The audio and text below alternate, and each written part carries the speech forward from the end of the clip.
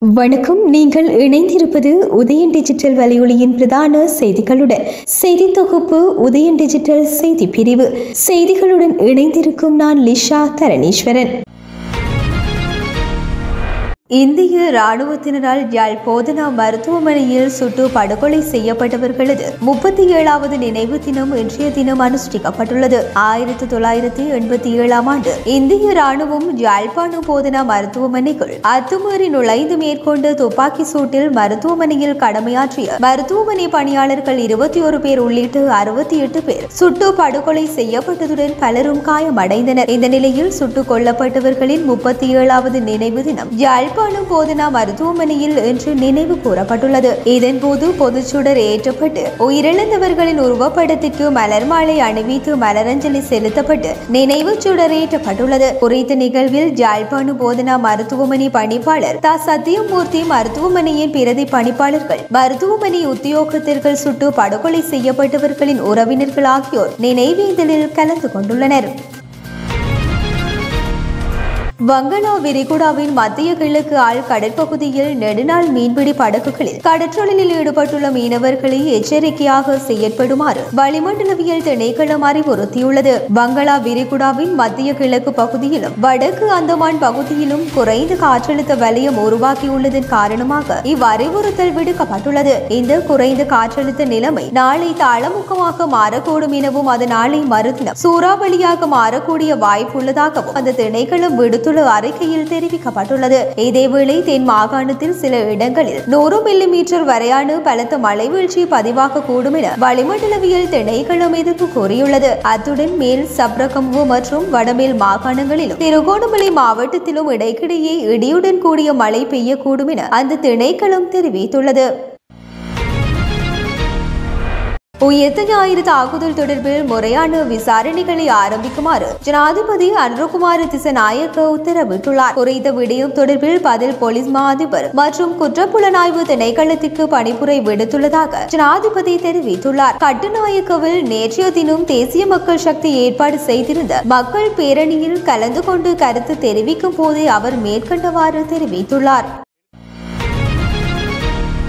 யாழ்ப்பாணத்தில் பத்து லிட்டர் சட்டவிரோத மதுபானத்துடன் நபர் ஒருவர் கைது செய்யப்பட்டுள்ளார். ஊரளி அம்மன் கோவிலுக்கு அருகில் வீடொற்றில் கசிப்பு விற்பனையில் நபர் ஒருவர் ஈடுபடுவதாக போலீசாருக்கு கிடைக்கப்பெற்ற ரகசிய தகவலின் அடிப்படையில் சம்பவ இடத்திற்கு விரைந்த போலீசார் பத்து லிட்டர் கசிப்பை மீட்டதுடன் அதனை விற்பனைக்கு வைத்திருந்த நபரையும் கைது செய்தனர். கைது செய்யப்பட்ட நபரை கோப்பாய் போலீஸ் நிலையத்தில் தடுத்து வைத்து போலீசார் தீவிர விசாரணைகளை முன்னெடுத்துள்ளமை குறிப்பிடத்தக்கது.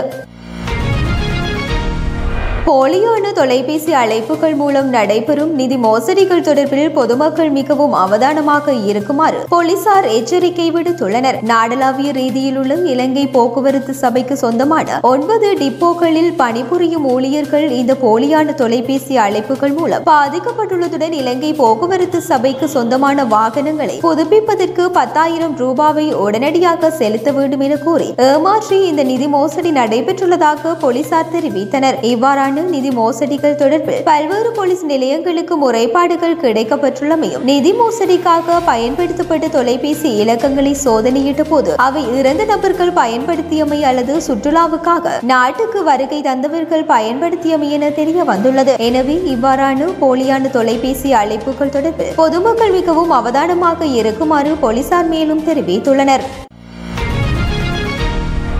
ஜம்மு காஷ்மீரில் புலம்பெயர்ந்த தொழிலாளிகளை குறிவைத்து பயங்கரவாதிகள் நடத்திய தாக்குதலில் உள்ளூர் மருத்துவர் ஒருவர் புலம்பெயர்ந்த தொழிலாளிகள் ஆறு பேர் என மொத்தம் ஏழு பேர் தீவிரவாதிகளால் சுட்டுக் கொல்லப்பட்டுள்ளனர். கந்தர்பால் மாவட்டத்தில் சோனம்மார்க் எனும் இடத்தில் நேற்று மாலை இத்தாக்குதல் நடந்துள்ளது. அப்பகுதியில் சுரங்கப்பாதை அமைக்கும் பணி நடைபெற்று வரும் நிலையில் அதில் பணிபுரிய வெளி மாநில தொழிலாளர்கள் பணியமர்த்தப்பட்டிருந்தனர். இந்த நிலையில் அந்த பகுதியில் தீவிரவாதிகள் இந்த கொடூர தாக்குதலை நடத்தியுள்ளனர். அப்பகுதியை சுற்றி வளைத்துள்ள பாதுகாப்பு படையினர் தீவிரவாதிகள் தேடுதல் வேட்டையை முடக்கிவிட்டுள்ளனர் இதற்கிடையே பயங்கரவாதி ஒருவர் சுட்டுக் கொல்லப்பட்டதாகவும் ஆயுதங்கள் பறிமுதல் செய்யப்பட்டதாகவும் பாதுகாப்பு படையினர் தெரிவித்துள்ளனர். இந்த நிலையில் காஷ்மீர் தாக்குதலுக்கு பாகிஸ்தானை தலைமையிடமாக கொண்டு இயங்கும் த ரெசிஸ்டன்ஸ் போர்ஸ் எனப்படும் லஸ்கர் தொய்பாவின் கிளை அமைப்பு பொறுப்பேற்றுள்ளதாக தகவல் வெளியாகியுள்ளது.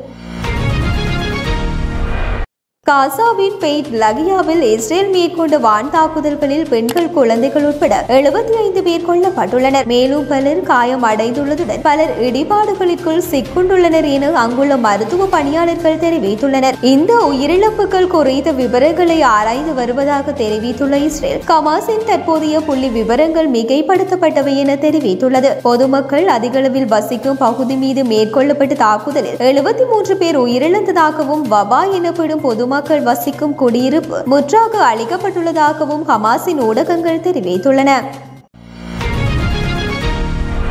மேற்கிந்திய தீவுகள் அணிக்கு எதிரான முதலாவது ஒருநாள் போட்டியில் இலங்கை அணி ஐந்து விக்கெட்டுகளால் வெற்றி பெற்றுள்ளது. கண்டி பெல்லேகல மைதானத்தில் இடம்பெற்ற இந்த போட்டியில் நாணய சுழற்சியில் வெற்றி பெற்ற மேற்கிந்திய தீவுகள் அணி முதலில் துடுப்படுத்தாட தீர்மானித்தது. இதன்படி அந்த அணி முப்பத்தி எட்டு புள்ளி மூன்று ஓவர்கள் நிறைவில் நான்கு விக்கெட்டுகளை இழந்து நூற்றி எண்பத்தி ஐந்து ஓட்டங்களை பெற்றிருந்த போது மழை குறைக்கிட்டது. அந்த அணி சார்பில் துடுப்பாட்டத்தில் செர்பியன் ரதர்போர்ட் எழுபத்தி நான்கு ஓட்டங்களையும் ரோஸ்டன் சேஸ் முப்பத்தி இருபத்தி மூன்று ஓட்டங்களையும் பெற்று ஆடுகளத்தில் இருந்தனர். பந்து வீச்சில் இலங்கை அணி சார்பில் வனிந்து ஹசரங்கு இரண்டு விக்கெட்டுகளையும் ஜெஃப்ரி வாண்டர்சி மற்றும் சரித் அசலங்க ஆகியோர் தலா ஒரு விக்கெட்டினையும் வீழ்த்தி இருந்தனர். இந்த நிலையில் டக்வத் லூஜிஸ் முறைப்படி போட்டி முப்பத்தி ஏழு ஓவர்களுக்கு மட்டுப்படுத்தப்பட்டது இதற்கமைய இலங்கை அணிக்கு முப்பத்தி ஏழு ஓவர்களில் இருநூற்றி முப்பத்தி இரண்டு ஓட்டங்கள் வெற்றி இலக்காக நிர்ணயிக்கப்பட்டது. இதன்படி பதிலுக்கு துடுப்பெடுத்தாடிய இலங்கை அணி முப்பத்தி ஒரு புள்ளி ஐந்து ஓவர்கள் நிறைவில் ஐந்து விக்கெட்டுகளை மாத்திரம் இழந்த நிலையில் வெற்றி இலக்கை அடைந்தது. துடுப்பாட்டத்தில் இலங்கை அணி சார்பில் அணி தலைவர் சரத் அசலங்க அதிகபட்சமாக எழுபத்தி ஏழு ஓட்டங்களையும் நிசான் மதுஸ்கு அறுபத்தி ஒன்பது ஓட்டங்களையும் பெற்றுக் கொடுத்தனர். பந்து வீச்சில் மேற்கிந்திய தீவுகள் அணி சார்பில் குடாகிஸ் மோதி மூன்று விக்கெட்டுகளையும் அல்சாரி யோசிப் இரண்டு விக்கெட்டுகளையும் வீழ்த்தினர். இதன்படி மூன்று போட்டிகள் கொண்டு இந்த ஒருநாள் தொடரில் இலங்கை அணி ஒன்றுக்கு பூஜ்ஜியம் என்ற கணக்கில் முன்னிலையில் உள்ளது. இத்துடன் உதயம் டிஜிட்டல் வலையொலியின் பிரதான செய்திகள் நிறைவடைகின்றன. தொடர்ந்தும் செய்திகளை உடனுக்குடன் அறிந்து கொள்ள எமது உதயம் டிஜிட்டல் வலையொலி பக்கத்துடன் இணைந்திருங்கள். வணக்கம்.